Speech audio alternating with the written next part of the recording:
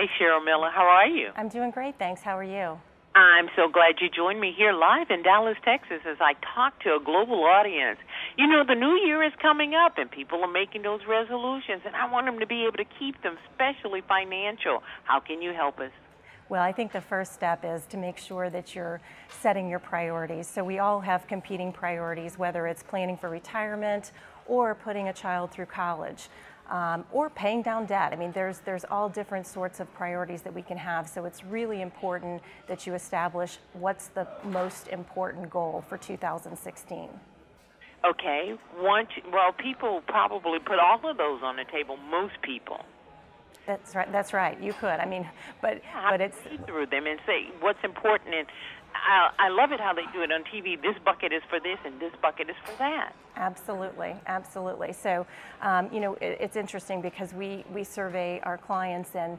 Um, clearly half of our respondents told us this year that they would save more for retirement and only a third of them actually met that goal. So um, although it may seem like we can do multiple things, I think it's important that we set and establish what's the most important thing, achieve that goal, uh, and then what we have, you know, left over, so to speak, to to fund other things, we set those priorities as well.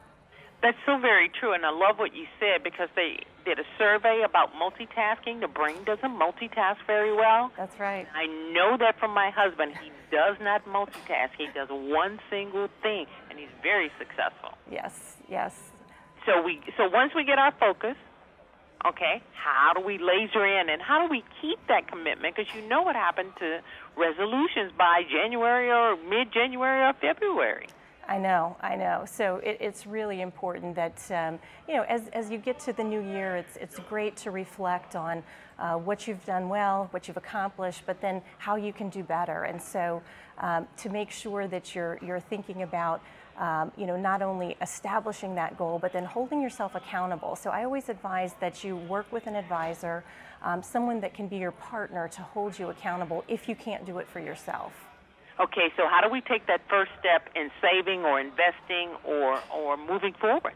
Yeah, so I think the first step is to establish the right account. Um, there are many different types of accounts out there, whether it be um, if, your, if your goal is retirement, um, investing in your 401k through your employer, or a traditional IRA, a Roth IRA. Um, there are benefits to all of that, um, but you want to make sure that you're taking advantage of tax deferral and growth um, so that you can accomplish your goals ultimately. Okay, so once you start your goals, how do you track them?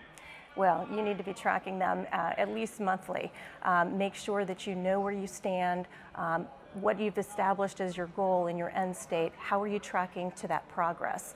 Um, and it's important that you also look at your investments and make sure that they're diversified um, so that they can withstand market downturns um, or as you as the market increases that you're continuing to take advantage of that. So it can be a very complicated subject, and that's why um, no two people are the same. And so every investment portfolio is unique to that individual based on their risk tolerance, their time horizon.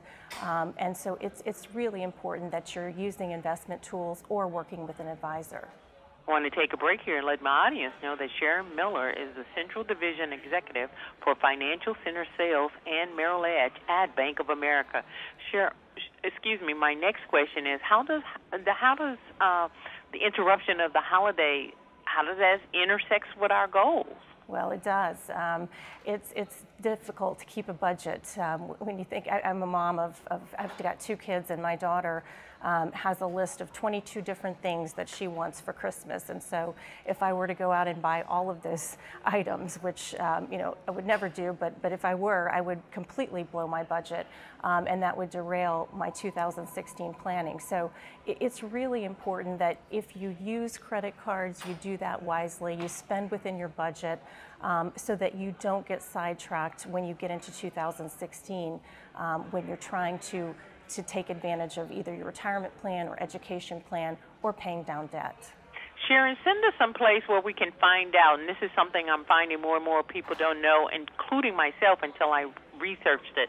What's the difference between a Roth, Roth and a traditional IRA? Where can we go online and, and disseminate that information? You can go to merrilledge.com. It's a great resource, uh, whether you're just getting started in investing or you're a seasoned investor. Sharon Miller, you have been a great delight and you have helped us. And please come back as we start this new year because it's going to be a great year. Absolutely. Thank you for having me. Happy holidays. Thank you. You too.